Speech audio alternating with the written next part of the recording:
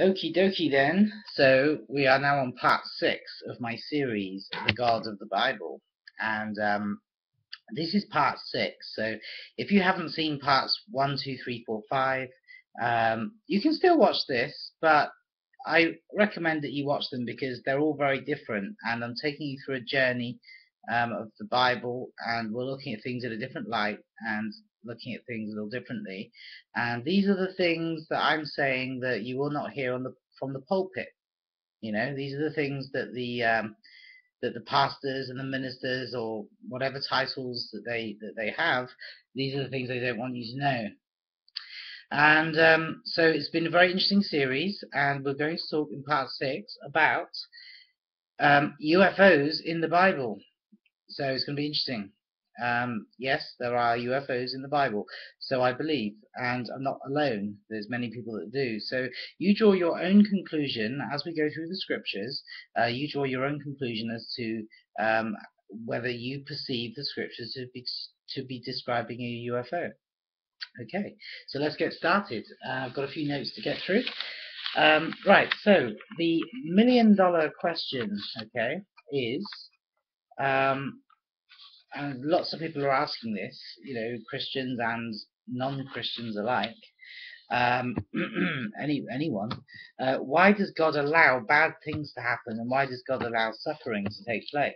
Uh, there's so much debate on that one question, um, and really, it you know, it kind of it determines whether someone believes or not believes. Okay, so let's address that question. Well, um, we've seen from my previous videos, parts 1 through to 5, okay, I mean it says that God is love. Um, you may doubt that when you read all the scriptures that I've uh, referenced to, you know, so uh, so there's that, you know, does God love humanity, okay, as much as the uh, churches that preach Christianity would have you believe. Okay. Uh, also, is it possible that um, God wants to intervene but can't? Is that possible?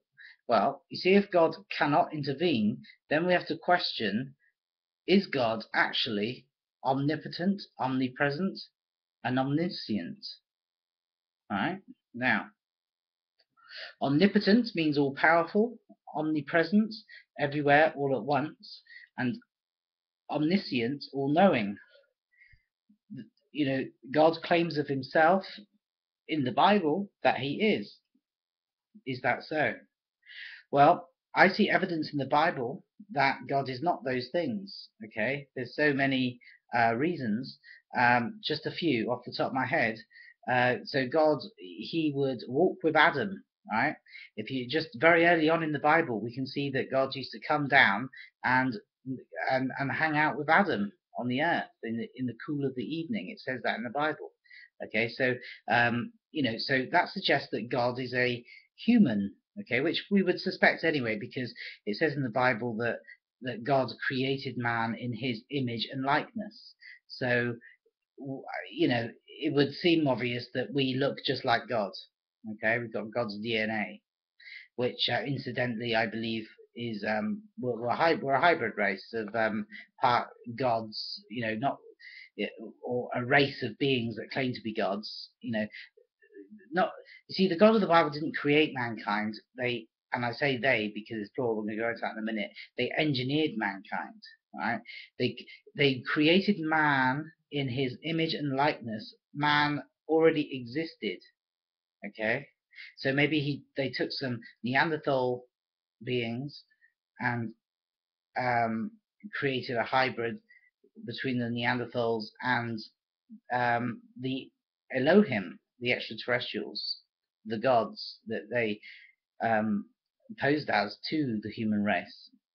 We're going to go into all this in more detail in just a moment. Okay, so um, so God used to um, walk with Adam. So uh, now the, the thing is, okay, he also, when Adam sinned, okay, according to the Bible, he came down and he he had to look for, he called out to them. He says, Where are you? Yeah? Okay, so why didn't he know? Why did he have to call out to them and he was basically looking for them? Okay, so he wanted to talk to them. Okay, so uh, so there's that. And then, of course, um, there was the time when God came down to investigate the Tower of Babel. Okay, why did he need to come down? There's many occasions in the Bible where God came down to carry out some work or do some stuff or look for things or whatever, you know. So um, so I would wonder then is is God omnipresent, omnipotent, om, uh, omniscient? I can't pronounce that one. Okay, anyway, so so so you would wonder those things. Okay, so what we're going to look at is this whole video is about UFOs in the Bible. Okay, so why would God, right, need a vehicle, right? Why would he need a vehicle?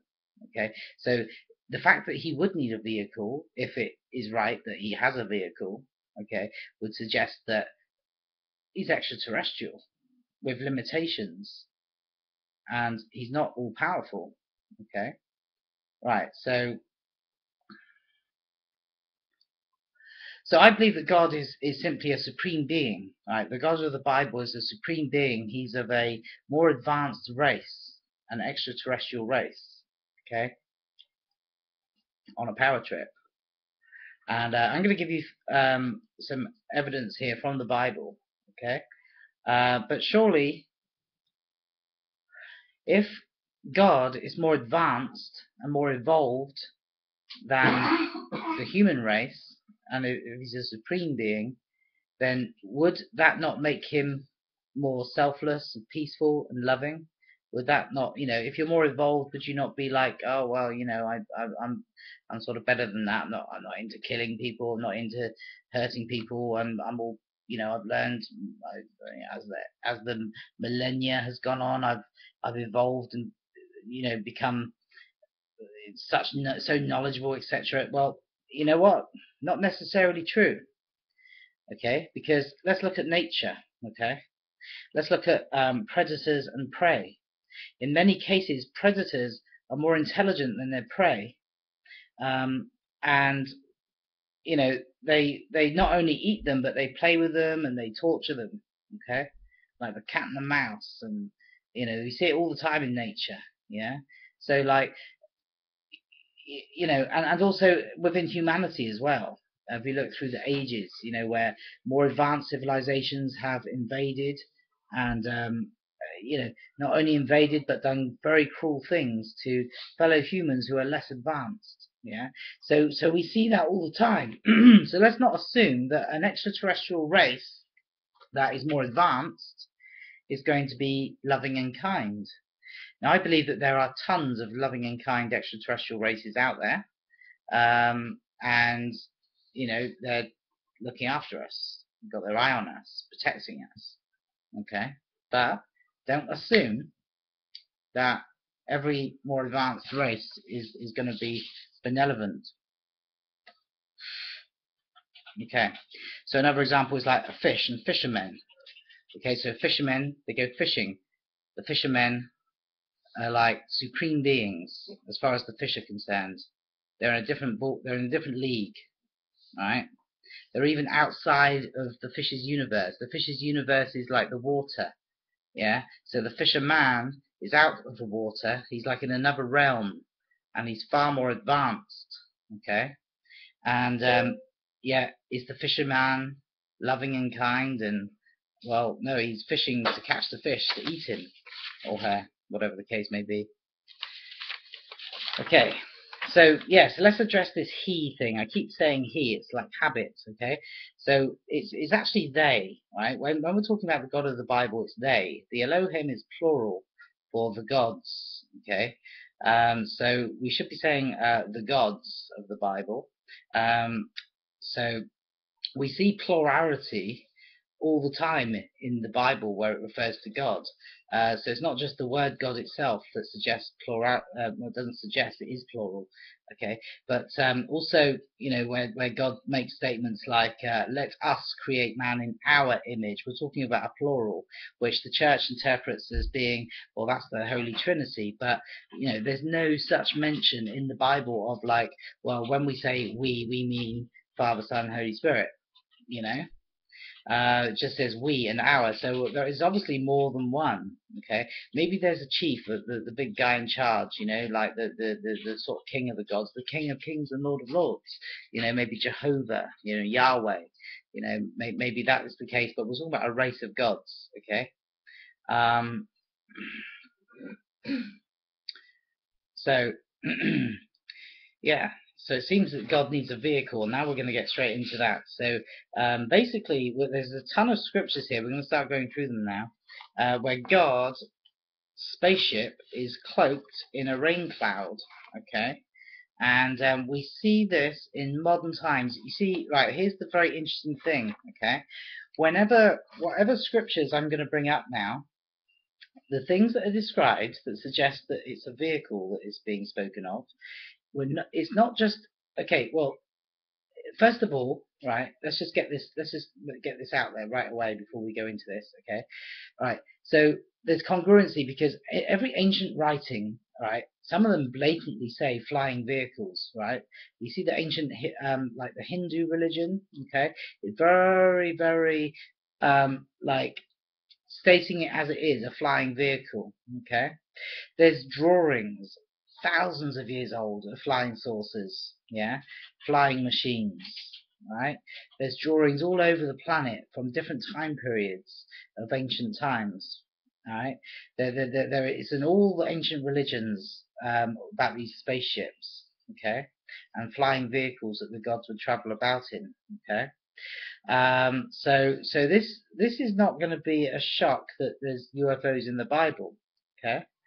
Um, so so yeah, so the rank. Oh yeah, the the other thing. Sorry, just just one last thing before I go into it is okay. So ancient times, it's congruent with ancient times, but not only that, with modern times. Okay, everything we're reading about.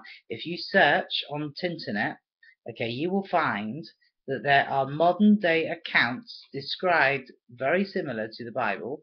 Okay, and you've got to remember the language of the Bible time people they wouldn't describe things in terminology that we would. They wouldn't say flying saucer and spaceship, and there was no spe- well, maybe there was space travel. There was certainly space travel in ancient times. Whether there was any space travel in Bible times, I don't know. Um, but uh, anyway, they would use different terminology, different ways of describing things. That's why Jesus' parables are so um, kind of strange because he was relating to his audience in his day using language and scenarios that they would relate to and understand and identify with. He was talking to lots of farmers and that kind of thing. You know, we would like maybe um, describe things in parables today, and we would talk about perhaps the uh, the city and city life and and and you know businesses and what have you. Okay. So anyway, let's just get right into the scriptures here. So, first of all, we're going to look at Exodus chapter 13, verse 21, and I'm going to link you to all the scriptures. Okay? So, Exodus chapter 13 and verse 21, it reads, And the Lord went before them by day in a pillar of a cloud to lead them the way, and by night in a pillar of fire to give them light to go by day and night.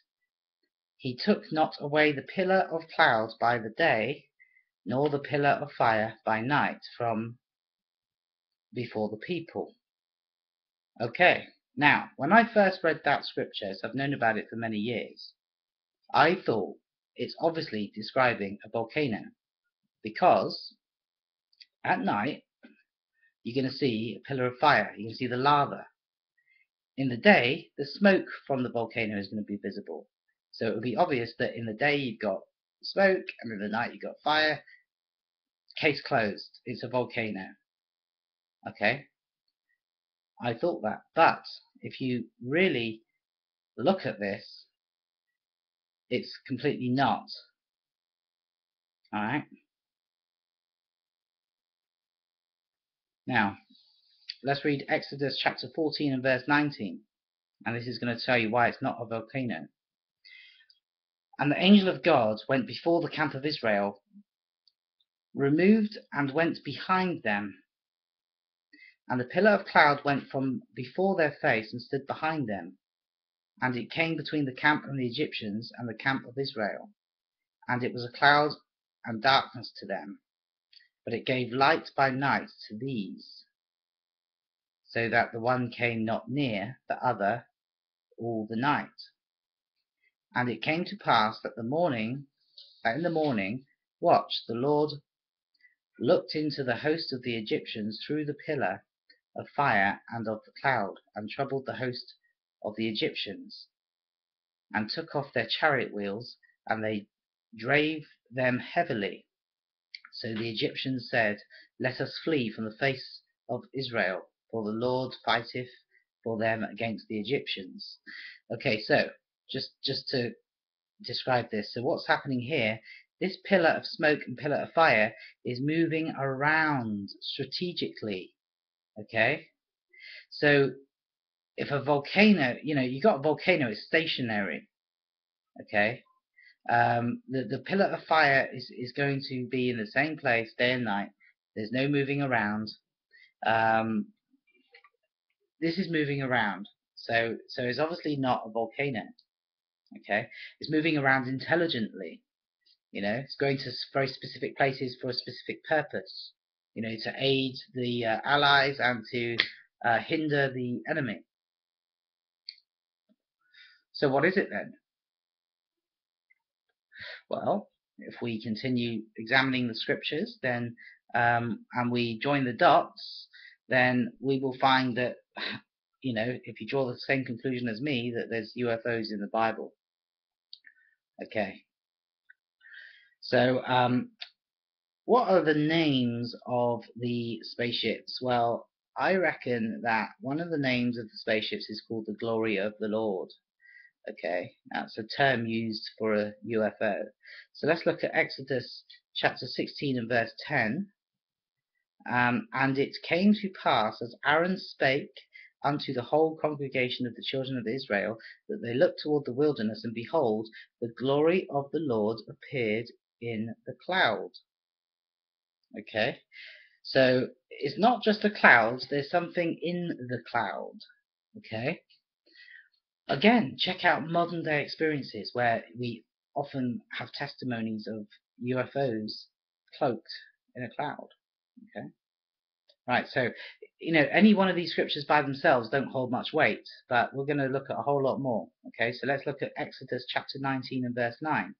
And the Lord said unto Moses, Lo, I come unto thee in a thick cloud, that the people may hear when I speak with thee, and believe thee forever.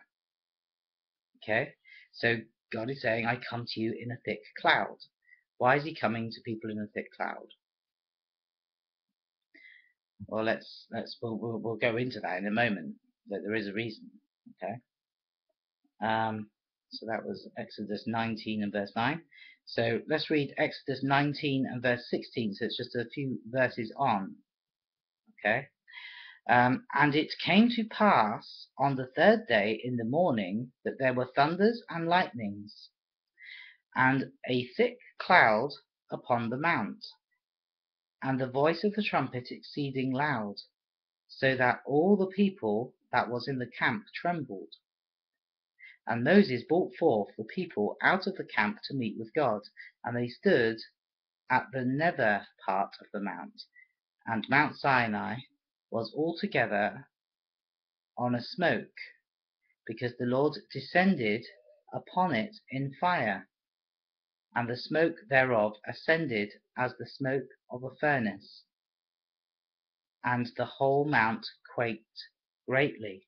Now that to me sounds like a gigantic spaceship that was so great that and had such such powerful thrusters or whatever. Now I don't believe that all spaceships are, have propulsion systems, you know, um, but you've got to remember there's various civilizations in the universe of varying um, advancements technologically, and there's maybe some extraterrestrial races, especially those that don't come so far to come and visit us, that maybe do use propulsion systems if you're coming many, many billions of light years, then you need to use stargates, wormholes, whatever, uh, you know, interdimensional, what you know, sort of thing.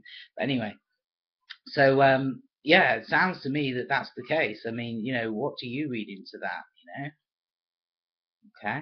So there's a lot of noise in that scripture. There's a lot of noise, a lot of fear, trembling. You know, it's uh, you know, smoke, fire. You know, it just sounds like a classic uh, rocket type thing to me. Okay, so uh, let's read a few verses on. In verse 21, we're still in Exodus chapter 19. And the Lord said unto Moses, Go down, charge the people, lest they break through unto the Lord to gaze, and many of them perish. And let the priests also, which come near to the Lord, sanctify themselves, lest the Lord break forth upon them. And Moses said unto the Lord, The people cannot come up to Mount Sinai, for thou chargest us, saying, Set bounds about the mount, and sanctify it. And the Lord said unto him, Away, get thee down, and thou shalt come up, thou, and Aaron with thee, and let not the priests and the people break through to come up unto the Lord, lest he break forth upon them. Okay, now this is interesting, and I'll tell you why. We already know from various scriptures throughout the Bible that God has indeed come and physically interacted with mankind. From the very beginning of the Bible in Genesis, we've already discussed that. There's no danger with coming face to face with God. There's evidence in the Bible of that. Okay, but here, God is very clear. Don't let them come to me. It sounds very much to me, you know, this whole sanct be sanctified, you know, is there protective clothing needed? I mean, you know, you've got all these religious things going on. It's very specific. You've got to wear certain stuff. You've got to proceed in a certain manner.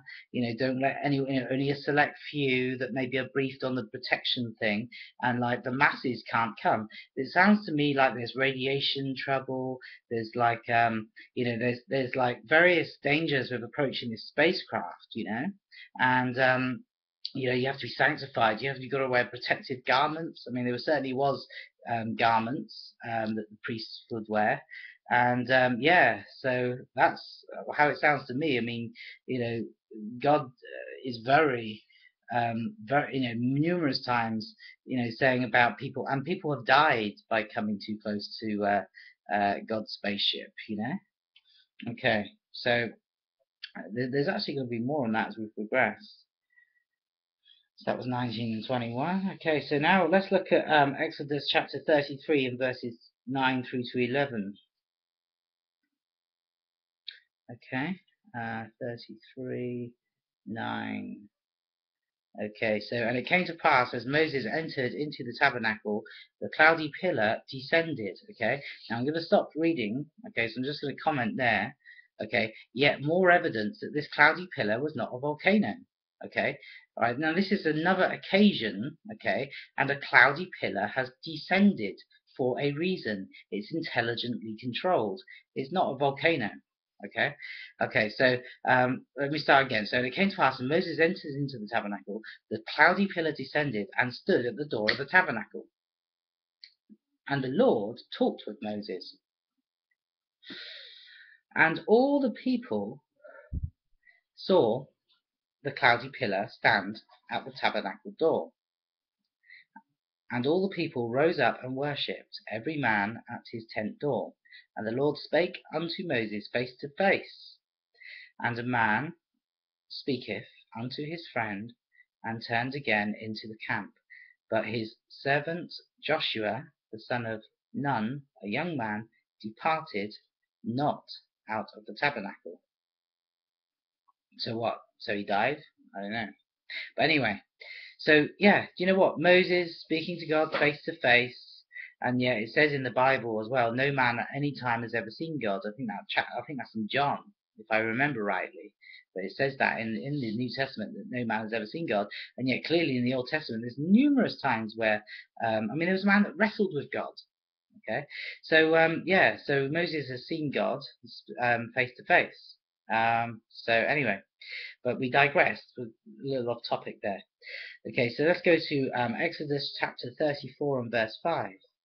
And the Lord descended in a cloud and stood there with him, or stood with him there. It's funny language in the Bible, and proclaimed the name of the Lord. So, you know what? We're seeing more and more evidence all the time, numerous times, repeatedly throughout the Bible, that God is a human or a humanoid. He comes and he stands and he talks and it's face to face and you know God looks just like us or we look just like God, whichever way you want to put it. Right, so God is a being, yeah, and um, so there you go. And he travels. He's a being who is not magical, right? He's not magic. He doesn't fly around like Superman and just disappear and reappear and do what he wants because he's all powerful, omnipresent. He travels in a cloud, right? Not as a cloud. Okay, he's not traveling as a cloud. He travels in a cloud. All right, in a cloud. Okay, and there's more of that um, about that momentarily. Okay, so I'm going to show you now in the next verse that his spaceship is a solid object. Okay, so when I'm saying that he travels in a cloud, I'm serious, right? There is a spaceship that is in disguise as a cloud, okay? And we know that from Exodus chapter 40 and verse 34. So it says, Then a cloud covered the tent of the congregation, and the glory of the Lord, right, meaning his spaceship, filled the tabernacle. Okay? And Moses was not able to enter into the tent of the congregation because the cloud abode thereon, and the glory of the Lord filled the tabernacle. Okay, he so Moses couldn't. This is me talking now, not reading. Okay, so um, Moses couldn't enter because of the cloud. Okay, so he obviously hit like a brick wall, so to speak. You know, he he hit a solid object. He could not enter because of it. Okay, now we're going to read on. So we're now in verse 36. So it's Exodus chapter 30, verse 36. And the cloud was taken up from over the tabernacle. The children of Israel went onward in all their journeys. But if the cloud were not taken up, then they journeyed not till the day that it was taken up. For the cloud of the Lord was upon the tabernacle by day, and fire was in on it by night in the sight of the house of Israel throughout all their journeys. So, yet again, we see that this pillar of fire and smoke by day, the, the, the cloud, these are not things of nature, these are intelligently moving around. So, when God wants his people to move, he moves in the direction that he wants them to go. When it's time for them to stop and camp for a while, it stops you know so so this is very it's intelligently controlled um, a solid object and uh, so there you go it's not, it's not a volcano because uh, I was convinced for a long time that it was describing a volcano but no nah, I mean I don't know how I couldn't see it. But anyway. So now we're going to look at Leviticus and um, and when people used to die when they got too close to God's spaceship Okay, so Leviticus chapter 10 and verse 1, um, it says, And Nadab and Abihu, the sons of Aaron, took either of them his censer, and put fire therein, and put incense thereon, and offered strange fire before the Lord, which he commanded them not. And there went out fire from the Lord, and devoured them, and they died before the Lord. Then Moses said unto Aaron, This is it that the Lord spake, saying, I will be sanctified in them that come nigh me, and before all the people I will be glorified. And Aaron held his peace. Okay? So, the the whole what we were discussing earlier about protective clothing, you know, being sanctified. That's another way of saying like protect yourself. Uh, but of course, you know, they wouldn't have known this language back then, not the same way. Know, they knew what they were doing. They just didn't. They just didn't describe it in the way that we would describe it today. So let's read um, uh, Leviticus chapter 16 and verse 1. Okay. Right. so now we're going to be introduced to another name for God's spaceship. He calls it the mercy seat. Okay. And the Lord spake unto Moses after the death of the two sons of Aaron, when they offered before the Lord and died.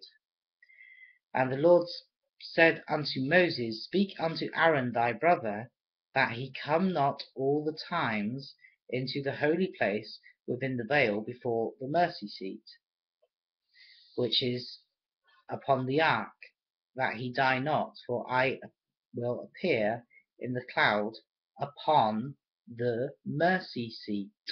Okay. So God is coming in a cloud, and yet again, he is not a cloud, he is in the cloud on an object. This time he's talking about a mercy seat. We're talking about a solid object that God is traveling on. God needs transport, okay?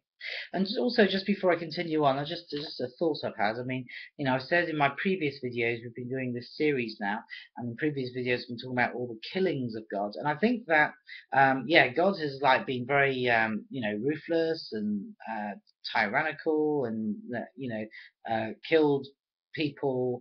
Uh, innocent people, children, women, children. We're not going into all of that because we've already discussed all of that. But I think in many cases, like where his own people were concerned, where God has come to the tabernacle and like he's appeared in his spaceship and all that, and a lot of people have died, and and I think that in those cases it was not intentional. He killed his own people that were working for him. I mean, who would kill people that were working for them? Okay, um, you know, those were genuine deaths because of the uh, the whole, you know, God, you know, yet again evidence that he's not like he can't he's not all powerful. You know what I mean? You know, yeah, people can die by accident in God's presence. You know, and he can't prevent it because he's a human. Yeah, he, God is a human, but he's a lot, lot older than us, and he's a lot more advanced, and he's more supreme, and you know, um, which is why he's in the position he's in. Okay. So that was um, Leviticus 16:1. Okay, so um, let's look at Numbers um, chapter 9, verse 15 on a few verses. Okay, so um, and on the day that the tabernacle was reared up, the cloud covered the tabernacle, namely the tent of the testimony, and at even, which is even, evening, uh, there was upon the tabernacle, as it were, the appearance of fire until the morning. So it was alway. The cloud covered it by day, and in the appearance of fire by night. And when the cloud was taken up from the tabernacle, then after that the children of Israel journeyed, and in the place where the cloud abode, there the children of Israel pitched their tents. At the commandment of the Lord, the children of Israel journeyed, and at the commandment of the Lord they pitched. Okay, so this is what I was saying earlier. They were they were they were like journeying and stopping as God commanded. They were following a spaceship. Okay, as long as the children, sorry, as long as the cloud abode upon the tabernacle, they rested in their tents. And when the cloud tarried along upon the tabernacle many days, then the children of Israel kept the charge of the Lord, and journeyed not. And it and so it was, when the cloud was a few days upon the tabernacle, according to the commandment of the Lord, they abode in their tents, and according to the commandment of the Lord they journeyed. And so it was, when the cloud abode for even from even until the morning, that the cloud was taken up in the morning, and they journeyed. Hmm. Whether it was by day or by night that the cloud was taken up, they journeyed. Sounds like I'm repeating myself, but it's the scriptures that are repeating itself. It seems to have said the same thing for about ten sentences now. Um, or whether it were two days, or a month, or a year, that the cloud tarried upon the tabernacle remains thereon. The children of Israel abode in their tents and journeyed not. But when it was taken up, they journeyed. Okay, sounds like that could have been said in just a few words, but anyway. Um, so that was Numbers uh, chapter 9 and verse 15 through to uh, 22. Okay, so Numbers chapter 10 and verse 11.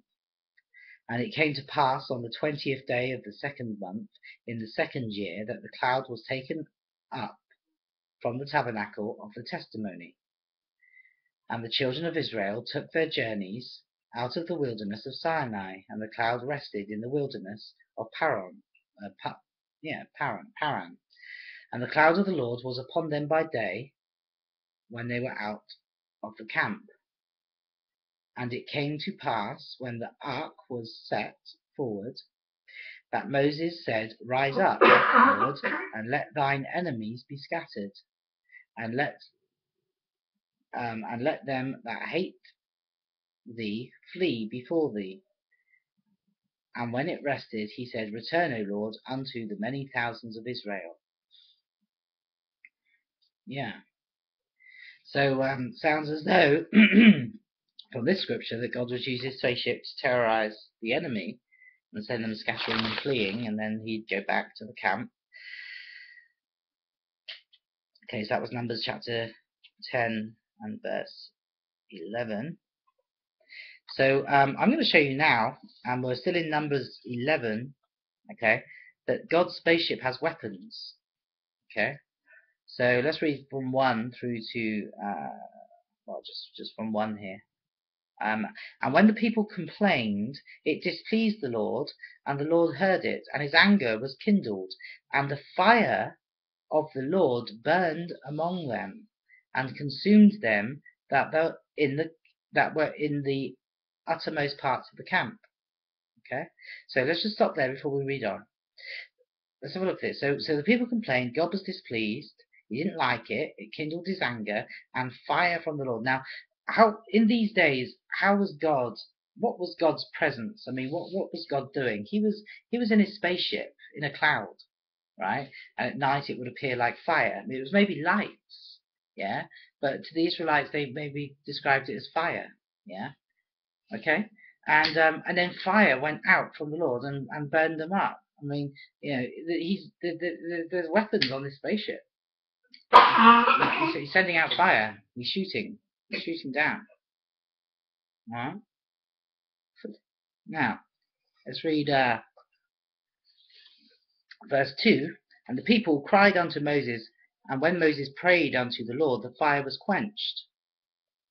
And he called the name of the place Taberah, because the fire of the Lord burned among them. And verse 25, we're just going to skip on to 25. And the Lord came down in a cloud, and spake unto him, and took of the Spirit that was upon him, and gave it unto the seventy elders. And it came to pass that when the Spirit rested upon them, they prophesied and did not cease. Okay. So, um, now if we go to chapter 12 of Numbers and read verse 5, and the Lord came down in the pillar of the cloud and stood in the door of the tabernacle and called Aaron and Miriam. Okay, and they both came forth. In verse 10,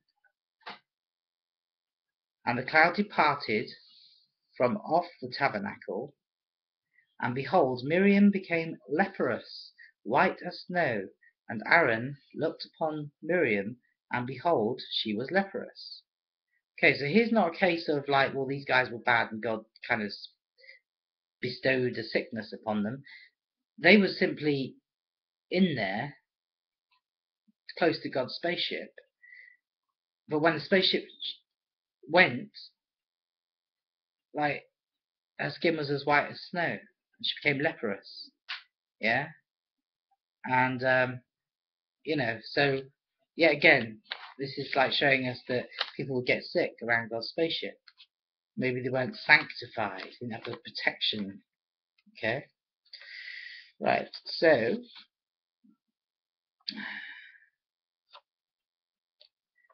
I'm just gonna I'm not gonna read these. Okay, but I'm gonna show you, I'm gonna just give you some more scriptures to look on your own about um, God's spaceship cloaked in a cloud. Okay? So Numbers chapter 14 and verse 14, Deuteronomy chapter 1 verse 32, Deuteronomy chapter 4 verse 11, Deuteronomy chapter 31 verse 15. Okay. So these clouds may not necessarily be the result of combustion. They may be a result of hydrogen drives, which have been described in UFO literature. The clouds may be condensed water vapor, which is a byproduct of the aliens' cold fusion energy source. Betty Anderson, or Anderson, uh, if I'm pronouncing it right, described the source of these clouds in detail in Raymond Fowler's book, The Watchers, pages 76 to 78. While under hypnosis, she describes an alien refueling procedure in much the same way that Ezekiel describes uh, his encounter, which we'll discuss a bit later, by the way. Okay? So she quotes The alien craft is spinning around and around and water with it. And what's happening is these silver balls are starting to light up, but it looks like that spinning is causing steam or mist all over the all over, uh, sending out like clouds or puffs of steam or something. And she describes it as being beautiful. And she says that there's a bright light right in the spinning part of the center, and the steam, um, it's like clouds all around, and it's causing rainbows. And uh, yeah, so she just goes on to describe that. It's, it's written quite funny because it's a recording of the hypnosis session. Okay, but I'm going to link you to this so you get to see it yourself. Okay, right. So let's have a look at 2 Samuel chapter 22 and verses 8 through to 16. Sorry, I know there's a lot of scriptures, and I know I'm. I, I, this is a very boring video. I know that. Uh, but those of you who are interested in UFOs in the Bible, then you know, you know, these are the scriptures we have to go through. You know. Um, okay, so 2 Samuel chapter 22 and verse 8. Then the earth shook and trembled, and foundations the foundations of heaven moved and shook because he was wroth. Verse 9 There went up a smoke out of his nostrils, and fire out of his mouth devoured coals were kindled by it. He bowed the heavens also, and came down, and darkness was under his feet. And he rode upon a cherub, and did fly and he was seen upon the wings of the wind. And he made darkness pavilions round about him, dark waters, and thick clouds of the skies. Through the brightness before him were coals of fire kindled. The Lord thundered from heaven, and the Most High uttered his voice, and he sent out arrows and scattered them, lightning and discomfited them. And the channels of the sea appeared, and foundations of the world were discovered at the rebuking of the Lord, at the blast of the breath of his nostrils. So we're talking about blasts, nostrils, okay, it, uh, trembling. Um, I mean, it just so much, you know, smoke and clouds, and honestly, all this stuff. My goodness, you know, this is the way the Bible writer described it. Okay, um, we would describe it differently today, but I mean, what do you get from that other than the fact that it's obviously a spaceship? Yeah, I mean, like the nostrils being like where the, you know, the, the, the thrusters or whatever. It's, you know, it's, it's the where the smoke is coming out from the propulsion. You know, I mean, I, am I crazy? I, I don't think so. Okay, so uh, so God uses the cloud all right, the, the, the spaceship, I should say, to transport himself or to hide his presence. Okay, so um, there's many scriptures on that. Um, so if we read um, Psalm 78 and verse 14, actually, well, not. Well, no, I'll tell you what, I'll read a couple and then I'm just going to quote the rest because otherwise it's just going to go on and on and on and I'm even getting bored myself. Okay, so Psalm chapter 78 verse 14, in the daytime also he led them with a cloud and by night by a light of fire. Psalm 99 verse 7, he spake unto them in the cloudy pillar, they kept his testimonies and the ordinance that he gave them. Psalm 104 verse 3 Who layeth the beams of his chambers in the waters, who maketh the clouds his chariot. Okay. Now, uh, that's just saying it right there. He makes the clouds his chariot. He's, he's traveling in the clouds. You know, who walketh upon the wings of the wind. You know, God is flying in the sky in a vehicle. There's so much in the Bible. There's so much in the Bible about this, and I just don't know why the masses don't see this when they read the Bible so much. My goodness. Okay, so Psalm 105, verse 39 He spread a cloud for a covering and fire to give them light in the night. Um, Isaiah chapter 19, verse 1 The burden of Egypt, behold, the Lord rideth upon a swift cloud. God is riding in a cloud okay, and shall come into Egypt, and the idols of Egypt shall be moved at his presence, and the heart of Egypt shall melt in the midst of it. Jeremiah chapter 3 verse 44 Thou hast covered thyself with a cloud that our prayer should not pass through. Okay. So all the time we're seeing in the Bible how God is traveling how does God travel? If God wanted to go from Europe to America to Australia, you know, like you would think an all powerful, omnipresent God would just be all those places all the time, just appear, disappear, reappear, whatever. Doesn't even have to appear. He just knows everything, like Big Brother style, CCTV all over the earth, whatever. Okay? But no, God is traveling. He's traveling. He's in a spaceship and he's traveling. It's, it's so obvious. Okay. I'm not just saying this. This is okay. Right now, let's look at the New Testament. Okay. We're going to look at it, and do you know what? You'll be glad to know we're almost done. Okay, so let's look at the New Testament. Okay, so we're going to read Matthew chapter 17 and verse 1. It's also, as well, because you know how the Gospels are all like the same, just different writers. Okay, so Matthew 17 verse 1, Mark 9, 2 till 6, and then Luke 9, 28 through to 35. Okay, so we're reading from Matthew. And after six days, Jesus, Jesus taketh Peter, James, and John his brother, and bringeth them up into a high mountain apart, and was transfigured before them, and did his face did shine as the sun, and his rain, uh, raiment was white as the light. And behold, there appeared unto them Moses and Elijah talking with them. Well, how did they get there? Okay, verse 4. Then answered Peter. it sounds like, and I, I was reading and I said, well, how did they get there? That's not what it says in the Bible, that's me. Okay, but I think you know that. Then answered Peter and said unto Jesus, Lord, it is good for us to be here.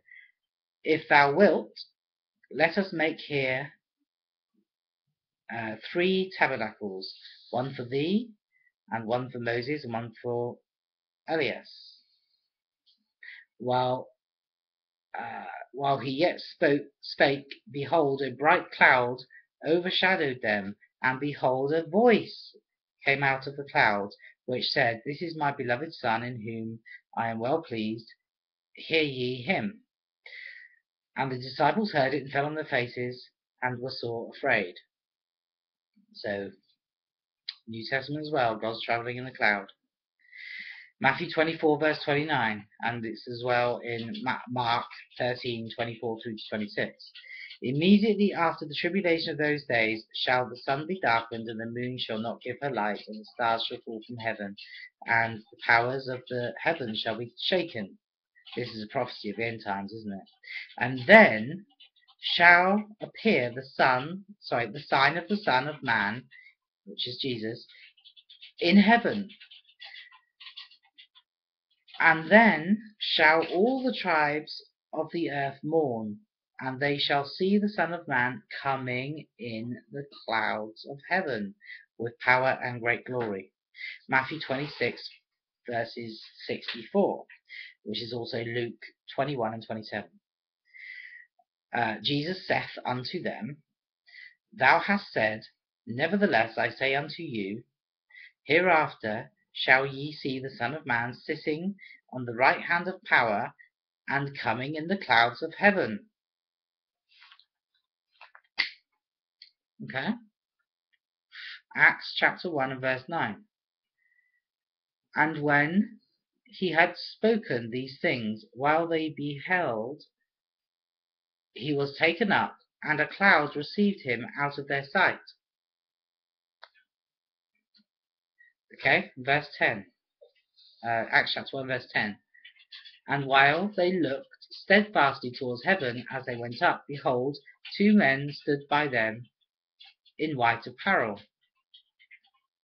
which also said, Ye men of Galilee, why stand ye gazing up into heaven? This same Jesus, which is taken up from you into heaven, shall so come in like manner as ye have seen him go to heaven. I mean, these scriptures I've read, it's all about spaceships, abductions, not unwilling abductions, spaceships, abductions. My goodness. Uh, this is what it's all saying. Okay. So there's some scriptures for you. Now, First Thessalonians speaks of the rapture, doesn't it? The word rapture doesn't appear in the Bible, but this is a, a big, you know, Christian doctrine is the rapture. 1 Thessalonians chapter 4 and verse 16. For the Lord himself shall descend from heaven with a shout, with the voice of an archangel, um, and with the trump of God, and the dead in Christ shall rise first. Then we which are alive shall remain, shall be caught up together with him in the clouds, to meet the Lord in the air, and we shall ever be with the Lord. Okay, so we're meeting God in the air. All right. Now, how many know that there's nothing in the air? Heaven is not in the sky. All right. There's nothing in the sky. There's nowhere to like stand and walk about and have a chat in the sky. Okay. There isn't. So, like, if there's any such place as heaven, it's going to be off somewhere on another planet or another dimension. Okay. Yet we're going to meet God in the sky. It clearly says that. So how are we going to meet God in the sky if it's not in a spacecraft. Okay. So anyway, so that's so that's that. Um, so there's chariots of fire. Uh, before that, hang on, hang on, hang on, hang on. Uh, this this is this has been one of my favourites for a long time. Revelation, big evidence of a spaceship. Okay. Right. Check this out. Revelation chapter one and verse seven. Behold, he cometh with clouds. Okay, all over the Bible. Behold, he cometh with clouds, and every eye shall see him. So this is a big spaceship. This is a prophecy of the future, by the way, the vision given to John. So this is coming, this is yet to come, right? Yet to be fulfilled. So talk about a massive spaceship, because every eye shall see him. Well, not necessarily, maybe it'll just be broadcast on the news. Oh, by the way, I could talk about this for hours. And you know what? In this series, right, we're going to, there's going to be more to come, right? Covered a lot, talking about UFOs and building up to something, right? Because you know what? I'm going to tie this all together. In my later videos, we're going to be tying this all together. We're going to see about why is this all the way it is? What is the agenda, right? Okay? Because you know what? I'll just give you a little snippet, right? The prophecies of Revelation, they will be fulfilled. They're going to be staged. There's going to be a whole false flag thing. The technology exists to do it. Anyway, we're going to go into that later on. I'll not give too much away. Okay, so let's go back to the scriptures. So Revelation chapter 1 verse 7, Behold, he cometh with clouds, and every eye shall see him, and they also which pierced him, um, and all kindreds of the earth shall wail because of him, even so. Amen. Now, um, Revelation 11 and verse 12. And they heard a great voice from heaven saying unto them, Come up hither. And they ascended up to heaven in a cloud, and their enemies beheld them. Right? Revelation 14 and verse 14. And I looked, and behold, a white cloud, and upon the cloud one sat like unto the Son of Man. How is he sitting on a cloud? He's obviously sitting in a chair in a spaceship. Okay? now that's not a quote from Revelation 14, by the way. That's me talking. Okay, so now go back to the reading of the scripture. Having on his head a golden crown, and in his hand a sharp sickle. Um, and verse 15, and another angel came out of the temple, crying with a loud voice to him that sat on the cloud, uh, in thy sickle and reap, for the time is come for thee to reap, for the harvest of the earth is ripe. And he that sat in the cloud thrust his sickle on the earth, and the earth was reaped. And Revelation chapter 1, verse 2 And I, John, saw the holy city, New Jerusalem, coming down from God out of heaven. Right? Prepared as a bride adorned for her husband. Now, when I said we're going to be really going into this in a later um, video on my series, we're going to be talking about this New Jerusalem, this city, New Jerusalem. This is a big subject that I really want to cover, right? Because this city is a spaceship, right? And I'll not spoil it okay, but we're going to go into this. So, um, yeah. So anyway, just a little snippet here. So Revelation 21, he's saying that this city is going to come down to the earth out of heaven, right? Ah, can't resist it. I'm to have to tell you, right? It's a three-dimensional city. It's a cube, right? And it's coming down out of the sky, and this is a prophecy, and it's going to come down. All right, we're talking about a massive spaceship. All right. Anyway, and then I'll tell you what's going to happen. But we'll, I'm saving that. Subscribe to me, and you'll get the uh, the notification when that video is done. I'm going to be doing it soon, uh, over the next couple of weeks. Okay. So anyway, what about the burning bush? Yeah, like Moses when he saw the burning bush. How's how's a guy like you got a guy Moses, and he's like a long time ago. How is he going to describe this thing, this phenomenon that's going on in the wilderness. You know, he's seeing a fire, is like by a bush, and it's not consuming the bush. It's this strange energy, yeah, this extraterrestrial energy that he can't describe, yeah. Um, and he, he, says it's a burning bush, and like, and then a boy, you know, I think there was a spaceship involved there, yeah. So that anyway, if you want to read the burning bush story, go to Exodus chapter three and verse two. Um, so yeah, so we got chariots of fire. Okay, so two Kings, chapter two, verse eleven. It came to pass as they went, uh, still went on, and talked that, behold, there appeared a chariot of fire, and horses of fire that departed them both asunder. And Elijah went up by a whirlwind into heaven. So there's lots going on there. Right, so chariot of fire, again, this is the way the ancients described what they saw. Yeah. Um, you know, so it's a chariot of fire, horses of fire. So we're obviously talking about a mothership and little scout ships, yeah.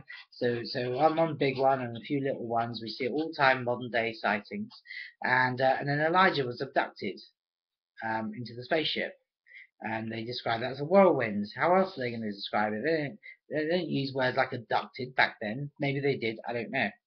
But anyway, they interpreted it as a whirlwind, and he went up into heaven. Yeah, went up to the sky um, probably went into the spaceship, no doubt, and was maybe tampered with. Who knows? Who knows? So, we're going to read a very important scripture. I'll save the best to last, okay? So this is like the one of the most famous UFO scriptures in the Bible, okay? And then we're just about done. So we're going to go to Ezekiel and chapter 1 and verse 4, okay? And we're going to read through till about verse 28. And I looked, and behold, a whirlwind came out of the north, a great cloud, and a fire enfolding itself. And a brightness was about it, and out of the midst thereof was the colour of amber, out of the midst of the fire.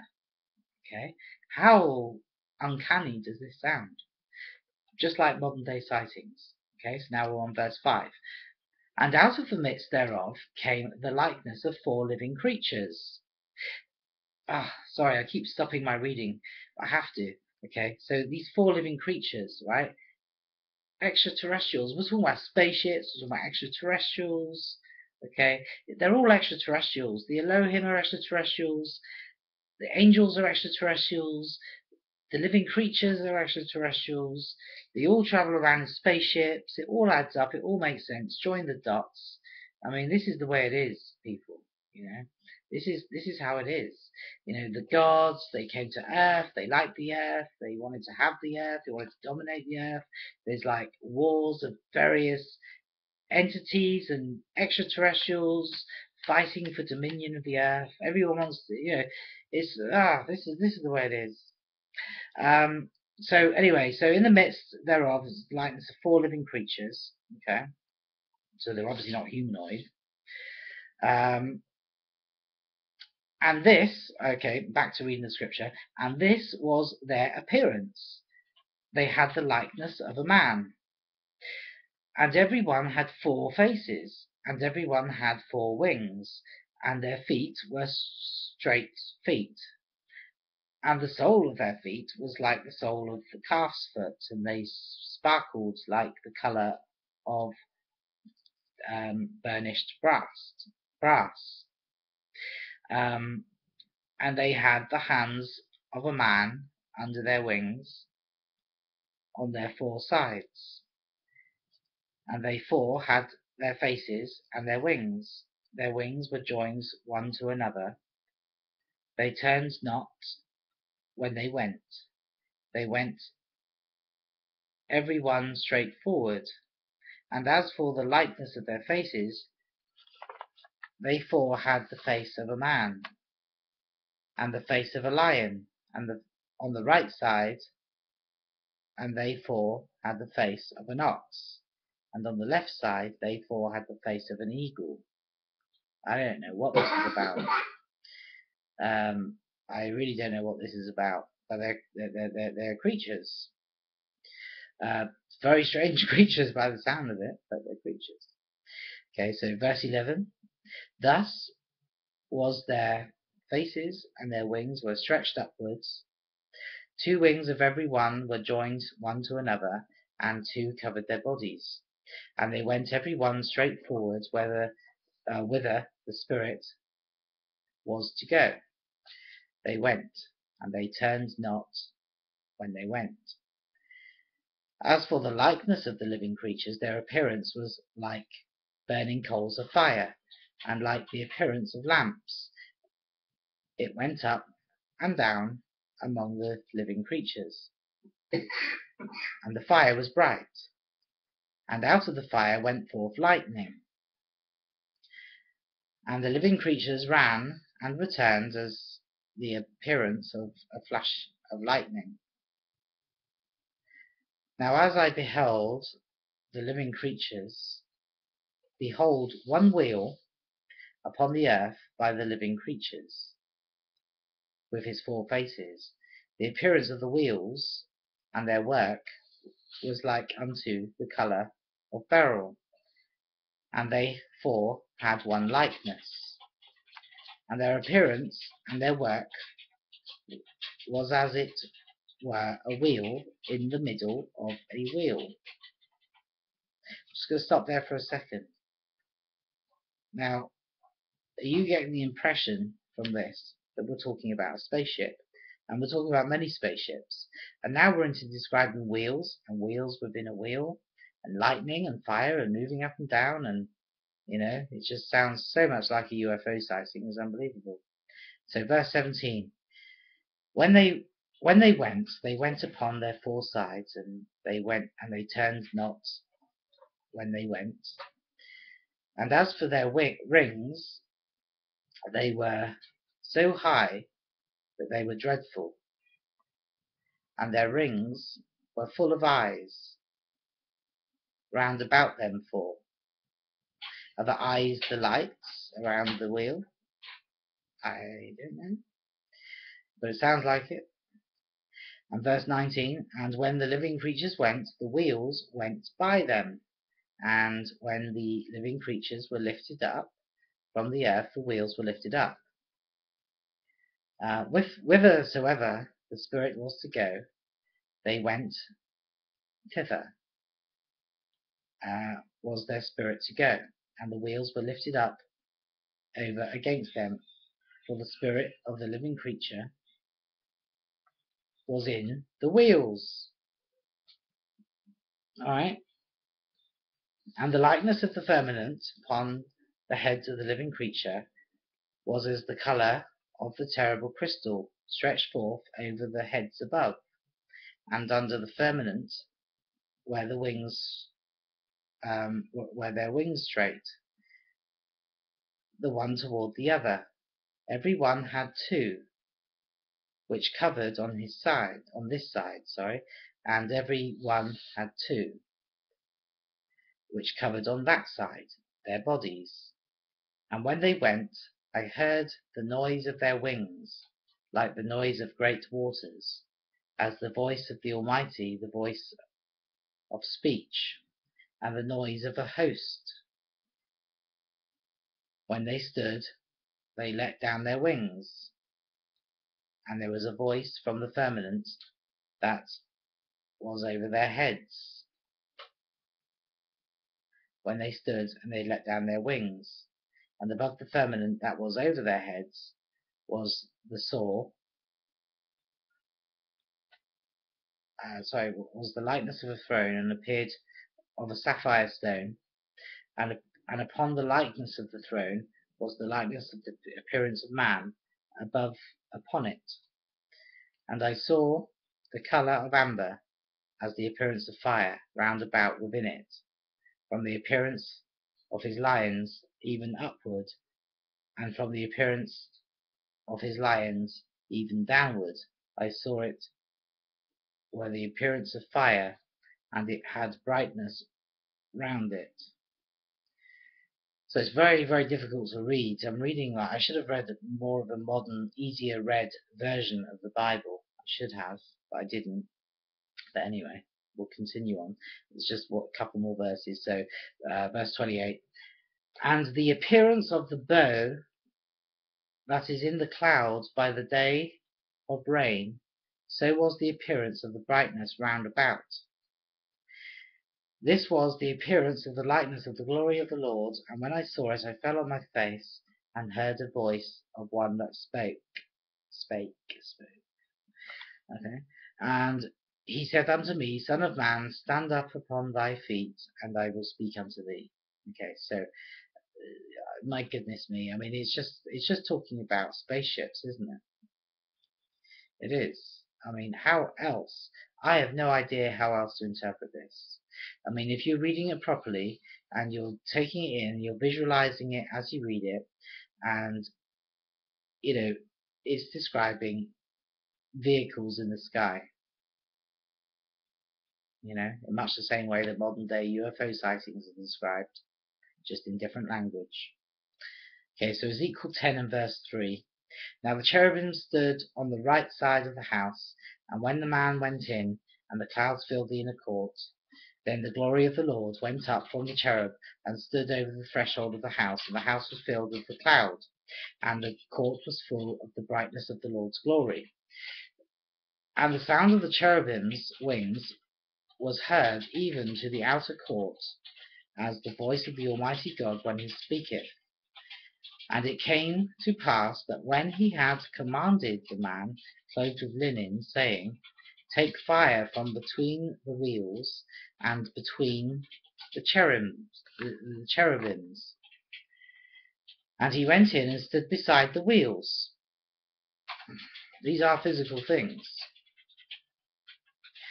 And one cherub stretched forth his hand from between the cherubims unto the fire that was between the cherubims, and took thereof, and put it into the hands of him that was clothed with linen, who took it and went out.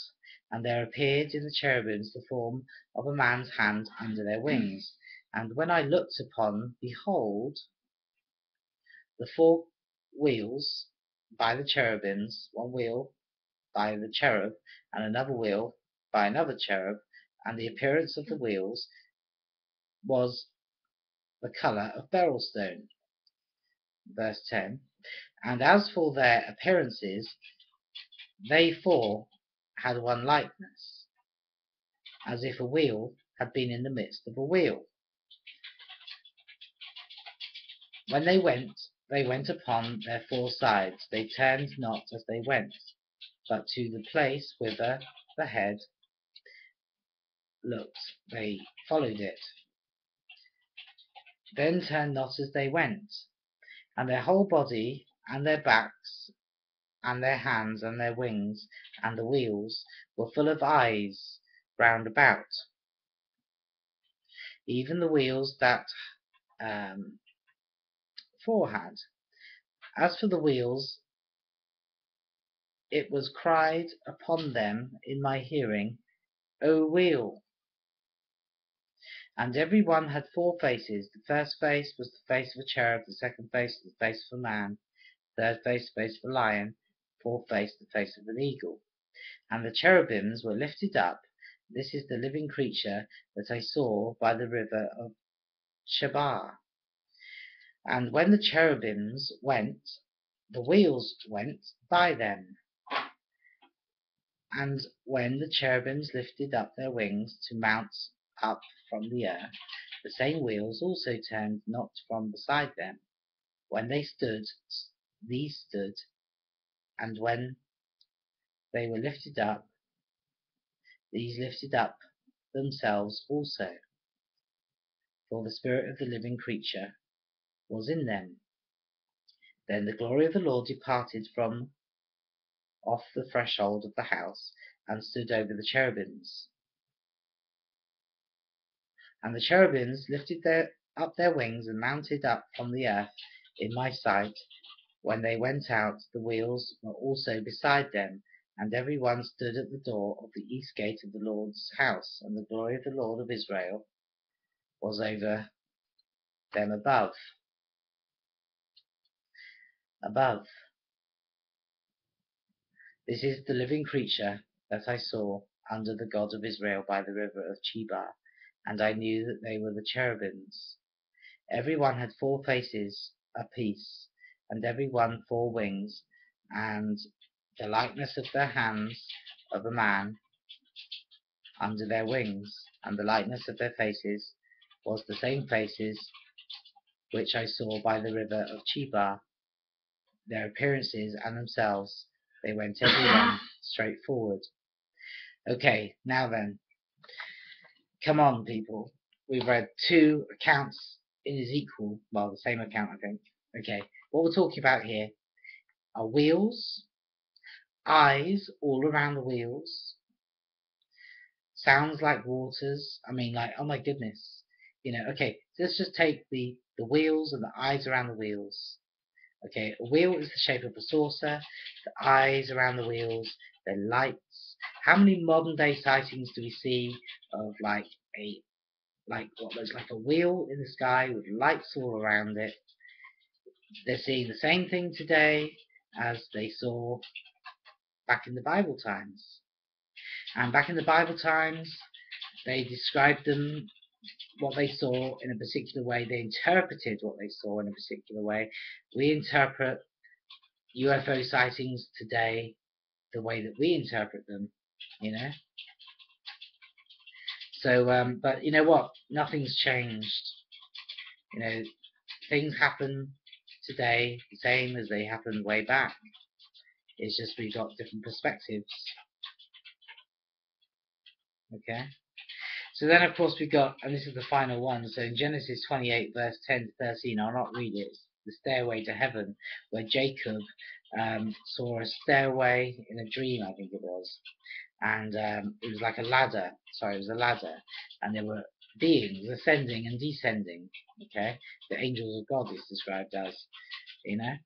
Um, so, and this is just like a modern day sighting. There's a testimonial here of um, uh, written in a book uh, called Searchers by Ron Felber. And uh, he describes the account given by a married couple on October 21st, 1989. It happened just like um, it's described in Genesis 28, verse 10. So yeah, I'm going to link you to this. Okay, so we finally done it. I knew this was going to be a long one before I started, um, but it, it, had to be done. I have to like substantiate my claims. You know, I have to. Uh, I can't just say there's UFOs in the Bible. Um, I have to tell you exactly uh, where, um, and then you have that information that you can then look at it and draw your own conclusion um, I don't see, you know, when you look at them all, I mean, any one of those scriptures standing alone on their own, uh, you wouldn't think much of it. But um, as we see it coming again and again, and then in certain places, it's obvious that God is flying around, He's up in the sky, um, you know, and like solid object, uh, dangerous objects, people dying, like maybe from radiation, they have to have be protected and all this and and then of course in Ezekiel it's like really obvious wheels in the sky with lights all around it's described as eyes and then like the way that it moves the way that it sounds you know the way that this as God's ship comes down the way that there's a tremble and there's like sort of lightnings and thunderings and tremblings and the, the thrusters and and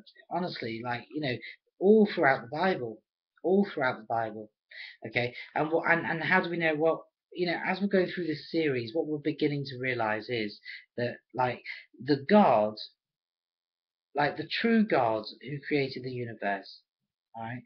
Um, it's not an he or a she, right? It's energy. Energy created the universe. It's never had a beginning. It will never have an end. It's intelligent energy. Um, but like the God of religion, the God of the Bible, the God of the Quran, the God, you know, the gods of religion, they're extraterrestrials. They are extraterrestrials. They're not all powerful. If they were all powerful, they could end the suffering that were on the earth. Now there are extraterrestrials that do have the ability to end the suffering, but um, there's like a law of non-intervention because you know we've got to evolve and work it out ourselves as a species, you know, and like there is help on on, on offer and like you know it's been rejected by the governments because the governments know all about this and you know but anyway we're going into all kinds of different topics that needed to be discussed on their own and you know they, they require a lot of time on their own. Um, but uh, yeah, so as we go on through the series, I don't know how many parts. We're on part six. I don't know how many more parts there's going to be, but the intention is to like tie this all together. Like we're describing it all so far. What we're going to do is we're going to like, you know, the, the, the questions are raised, like why, you know, why, why, why the, uh, the Elohim? Why do they come here? Why do they do what they do? What is their plans? What's the agenda for the future? What's going on? You know? So let's find out what's going on and you know who are we you know? Um, are, we like nothing more than like a genetic experiment uh, genetically engineered slave you know slave race? Is that what we are? Is that all we are? Are we anything more than that? You know we're, we're going to be looking at all of that stuff you know? So um, thank you for for listening and uh, and that's it for today. No.